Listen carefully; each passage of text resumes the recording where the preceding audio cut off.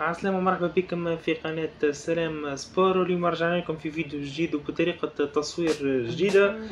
الفيديو متاعنا اليوم باش نكون نحكيو على رحلة البحث عن بديل لداني ألفيس يعني الظهير الأيمن لنادي برشلونة. في آخر عشر سنوات نادي برشلونة ملقاش معوض اللي يلزم يعني لداني ألفيس. يعني كما نعرفوا داني ألفيس اللي كان جاء لنادي برشلونة في 2008 وغادر من نادي برشلونة في 2016 ومن بعديك يعني جابوا لاعب آخر اللي هو على أساس باش يكون معوض لداني ألفيس اللي هو جاء 2011 مونتايا لكن كيف كيف غادر في نفس السنة اللي غادر فيها داني ألفيس. اللاعب رقم ثلاثة اللي هو دوغلاس اللاعب اللي انضم لنادي برشلونة في 2014 ومن بعد كيف كيف غادر من نادي برشلونة كيف كيف لا ما عرفش ينجح في المركز هكايا وغادر في 2019 وهو حاليا يلعب مع نادي بيشكتاش التركي روبرتو اللي الناس الكل نعرفوه جماهير برشلونة يعني عملها جلطة دماغية اللي يعني أبرز هدف عنده اللي هو كان أمام نادي باريس سان جيرمان والريمونتادا المعروفة عند الناس الكل. اللاعب هذا انضم لنادي برشلونة في 2010 هو حاليا مازال موجود في نادي برشلونة وكيف كيف جدد عقد لموسم آخر إضافي. اللاعب رقم خمسة أليكس فيدال اللاعب هذا يعني على البداية نتاعو كان مميز.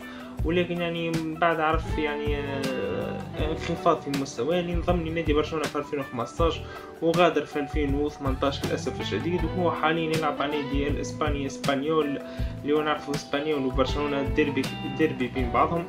اللاعب رقم ستة سيميدو. أنا بالنسبة لي أنا سيميدو لاعب ممتاز برشا ويعني وعجبني في المركز هكا لكن للأسف منعرفش علاش غادر من نادي برشلونة؟ انضم لنادي برشلونة في 2017 قادمة من نادي بنفيكا ثم غادر في 2020 للدور الإنجليزي للولفر هامبتون الإنجليزي. الرقم سبعة مينغويزا اللي انضم لنادي برشلونة في 2020 وغادر في 2022 وحاليا يلعب في نادي سالتا فيغو. آه، لاعب رقم ثمانية داست الأمريكي حتى بالنسبة لي أنا هذا ظهير أيمن ممتاز. آه، يمتاز بجودة عالية. لكن ما نعرفش علاش يعني باش يبدأ يندمج مع اللاعبين يدخل بعضهم ما يعرفش يلعب كما يلزم. في برشلونة عرف في البداية نتاعو عرف نجاح باهي. ولكن يعني نعرفوا المدرب الهولندي كومان ما عرفش يوظفه في المركز اللي يلزم يعني كان ساعات يطلعوا الهجوم. تمنيت أنه يقعد مع برشلونة ويتدرب مع تشافي اللاعب السابق كيف كيف والمدرب الحالي. اللاعب رقم تسعة يعني إيمرسون اللاعب البرازيلي اللي الناس الكل ما فهمتش علاش غادر نادي برشلونة.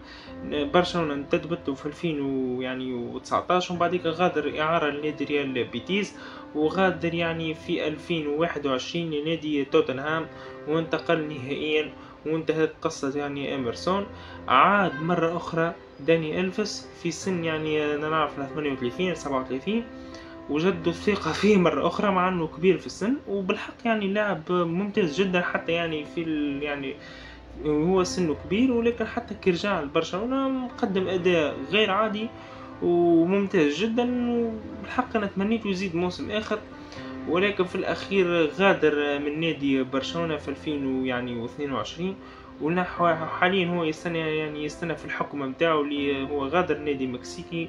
وبعديك ما صحش يعني النادي المكسيكي فسخ العقد نتاعو وهو حاليا ينتظر في الحكم نعرف القضية يعني اللي القضية اللي دارت عليه في الأخر وإمكانية سيتم يعني سجنه.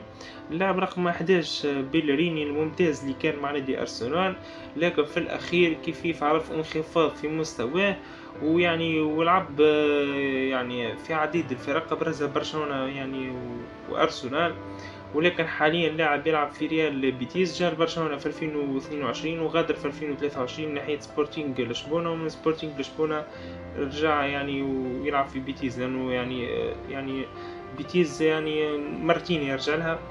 ونعرفوا حاليا إن شاء الله وبالحق يعني إن شاء الله اللاعب هذا يعني يقدم مستوى رائع. برشا ونعرفوا يعني شفناه في المباريات الأخيرة كانسيلو البرتغالي لاعب ممتاز وممتاز جدا. بالحق إذا كان برشلونه ينتدب كانسيلو أنا نقول لهم يعني يعني خمس سنين قدام برشلونة تهنى على الظهير الأيمن اللي هو كانسيلو لاعب ممتاز. برشا برز في نادي السيتي في البدايات لكن يعني صارت مشكلة بينه وبين جوارديولا. وغادر نادي البايرن. اللاعب هذا يلعب في عديد المحطات اليوفي فالنسيا بايرن بنفيكا في بالي برشلونة حاليا. مع نادي برشلونة لاعب مميز ومميز جدا. بالحق نادي برشلونة أقوى ظهير أيمن قامت بانتدابه بعد داني ألفيس. أنا حبيت نشارككم كما قلت لكم عنوان الفيديو رحلة البحث عن بديل لداني ألفيس في الظهير الأيمن في عشر سنوات الأخيرة. ما عرفش برشلونة معوض لالفيس البرازيلي المخضرم. هكا نكون كملنا الفيديو. قبل ما يعني نقص الفيديو ما تنسوش الاشتراك في القناة. ووضع جرس التنبيهات واللايكوات لايكوات الشباب ويلا ربي معاكم. إلى اللقاء إن شاء الله. نتقابلوا في فيديو جديد.